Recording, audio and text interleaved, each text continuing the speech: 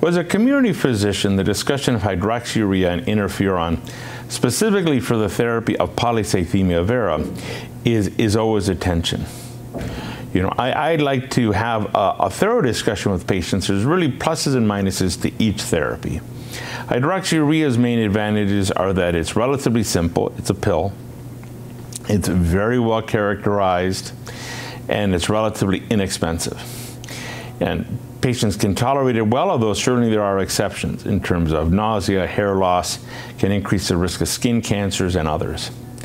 Interferons increasingly have strong data, more and more so building each day, that they may help to delay progression in the disease, in addition to controlling counts and decreasing that vascular risk, which really may provide an advantage over the use of hydroxyurea. So when I think about that switch for people that are on hydroxyurea, one, are they not tolerating hydroxyurea? They need a, a different agent.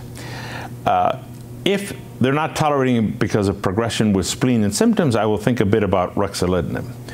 But for most individuals, if they're just not tolerating it, they don't have a great response, you know, a long-acting interferon such as ropegylated interferon alpha-2b makes good sense. Now the second, and this is the important one, is to try to delay progression of the disease.